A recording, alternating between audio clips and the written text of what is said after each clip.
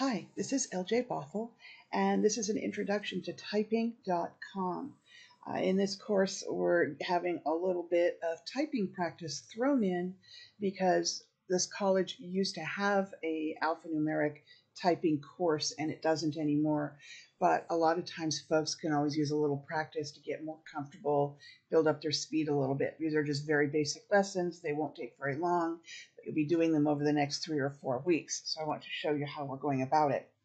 So in um, the section seven uh, assessment for typing.com, I give two links to you, one of which is a template that you will download.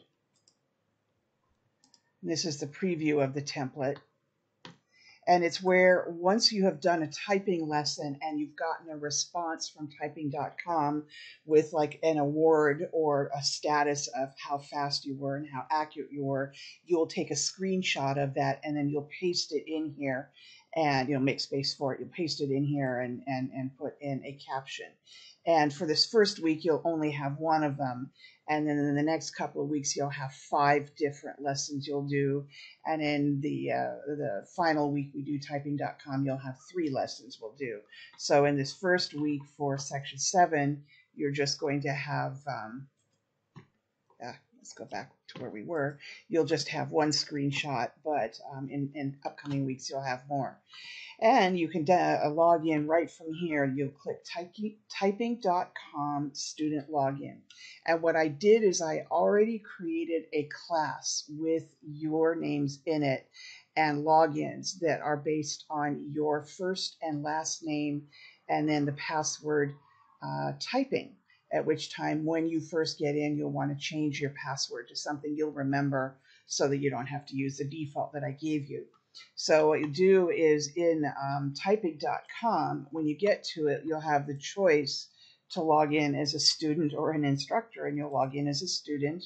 So in my case, I made myself a phony student, which is um, that's my first and last name, and then I would click enter, and then I would type in the temporary password typing.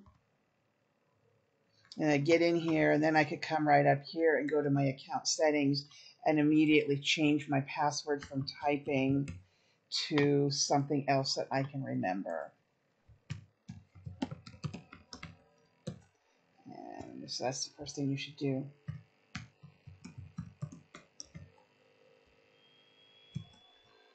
You can update your password, and then no one else can go in there and, uh, and do anything. Then what you'll want to do is you'll want to go over and you'll want to go to your lessons. So I have basically set up very specific ones in just one section called Learn the Keys. Now, some folks who take this may be really proficient at typing already, at which time you'll just whiz through it. But there are a lot of folks who were we've become more and more accustomed to typing with our thumbs or you know just hunting and pecking on the cell phone, and that's not always uh, very useful for doing coursework where you're going to be doing papers and you're going to be doing you know, um, stuff in Excel, and you'll be doing all sorts of different things during your school career. So this is just to give you some practice. It's not high stakes, it's not highly intensive, and it's just something to relax and do and get some practice at, and then take the screenshot of your finished work. So what you'll have in here in each of my um, assignments for this, I will note exactly which lessons you'll be doing. So, it, for instance, for the first week, you'll actually be doing assessment one because this is sort of the equivalent to a one minute lesson where we can just see what your current speed and accuracy is.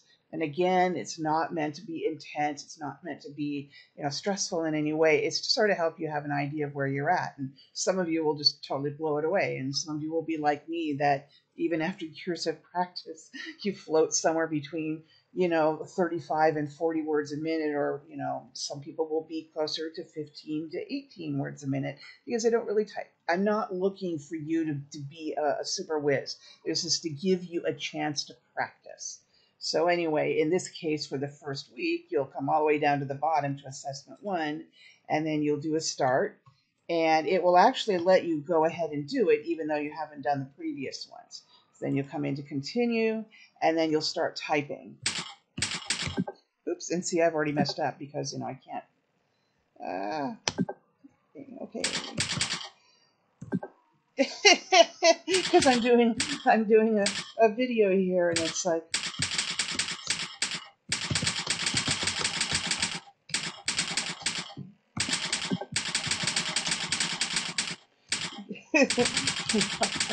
I will get rid of this uh, in a moment.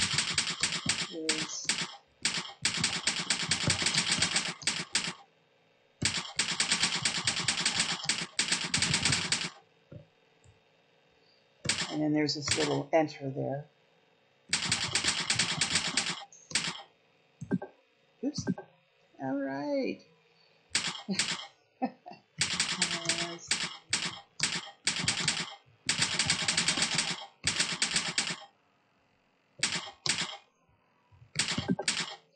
and there's my typing test. All right.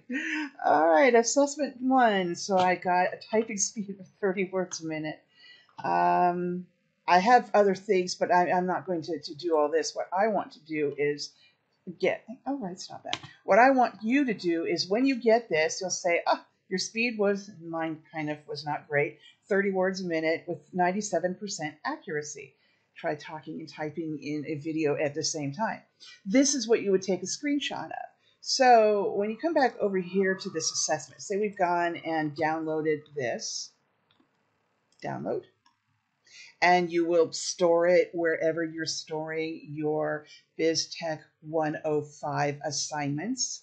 So I'm going to come down here